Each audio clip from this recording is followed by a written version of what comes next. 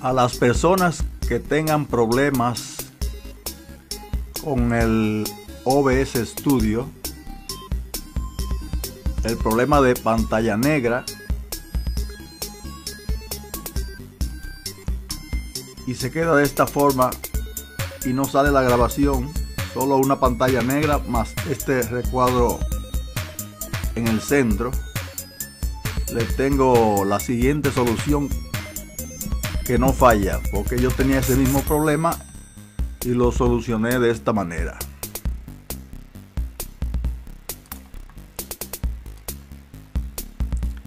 Damos clic derecho. Buscamos el panel de control de NVIDIA.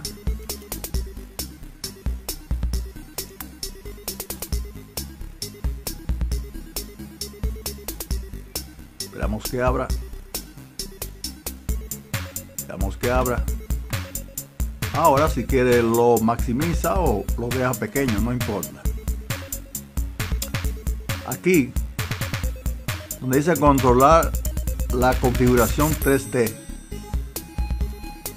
Te da clic, clic ahí, controlar la configuración 3D. Entonces, se va a configuración de programa. Debe salirle esta opción. Program File X86 OBS Studio para 64 bits. Eh. Le da clic aquí. Si esto no le aparece, si esta opción no le aparece acá, entonces lo que usted tiene que hacer es irse aquí a agregar.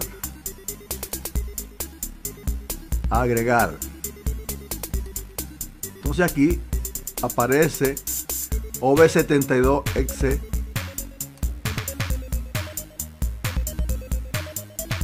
y OBS a 64 bits. Este, por ejemplo. Entonces, en ese caso, usted viene abajo, lo selecciona, viene abajo y da agregar el programa seleccionado. No lo agrego porque ya yo lo hice. Entonces le doy cancelar. Y aquí, esto lo deja igual.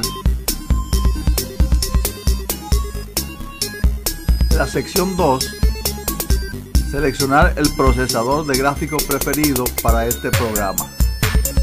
Entonces debe poner gráficos integrados, porque aquí hay más opciones. Utilizar configuración global, procesador NVIDIA de alto rendimiento, procesador NVIDIA de alto rendimiento o gráficos integrados. Te deja gráficos integrados. Te da a aplicar